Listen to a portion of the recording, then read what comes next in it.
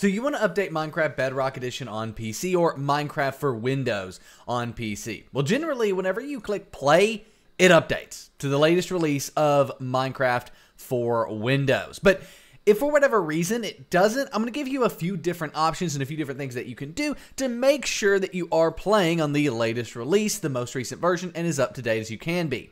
You can see the most recent version in the bottom right of the main menu. As you can see there, V1.20.15 is the current latest version, but for you, it might be 1.30 in the future. I don't expect them to take that off the main menu, and that's how you can see what version you are playing. Now, one thing you may have noticed is that I use the Minecraft launcher here in order to play Minecraft for Windows. That's not the only way that you can access Minecraft for Windows, though. You can also play it directly. For example, if we were to come up here and click on this, this is Minecraft it's going to launch Minecraft for Windows. What we just had open directly, not through the Minecraft launcher.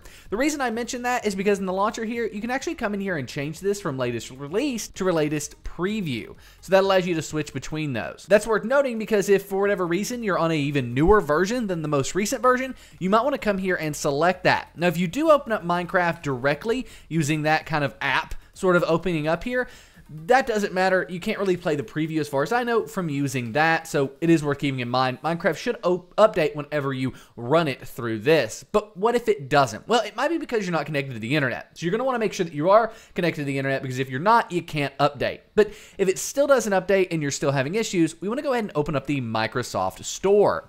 So as you can see right here, it is the Microsoft Store. It's an app basically on your computer. And if you update all of your apps on your PC, including Minecraft, using the Microsoft Store, it's going to ensure that everything is up to date and it will even update Minecraft. So if we come in here to library, we can click on update all up here in the top right. I've only got one thing that needs updating. Minecraft will probably be in this list for you if it does need updating. You can also click get updates just to ensure that everything that needs an update, Minecraft included, is included in this list. You could go down through here and specifically find Minecraft and just update that, but really and truly, always good to keep that stuff up to date on your computer. So clicking update all here will update everything, including Minecraft. Now that might not work and there is one more method that we can try, but before we do, how to message from our company, Simple Game Hosting. Go to the first link in the description down below, the breakdown.xyz slash SGH, to start your very own Minecraft Bedrock Edition server that will allow you to easily play Bedrock Edition with people on iOS and Android devices, as well as people that are on Minecraft for Windows slash PC like we're updating right here, all on one Minecraft server. It's super easy to set up, use, and manage the server, and if you have any issues along the way, we have live chat support to help you out.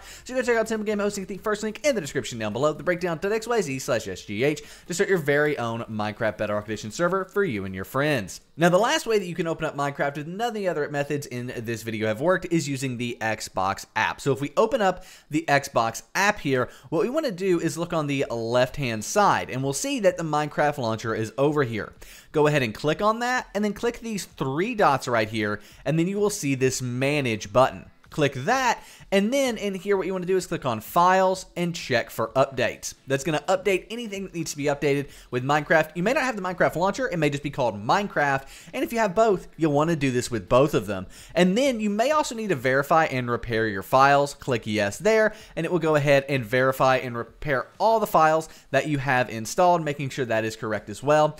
And then at that point, you should be able to go ahead and launch up Minecraft for Windows or Minecraft Bedrock for PC without any issues and and on the most recent version of Minecraft. And again, that's whether you launch it like this via the Minecraft launcher or whether you launch it via searching for, you know, the Minecraft app up here and opening it that way. So nevertheless, if you have any questions, let us know in the comment section down below. Enjoy your newly up-to-date Minecraft Bedrock Edition, and we will see you in the next video. I am out. Peace.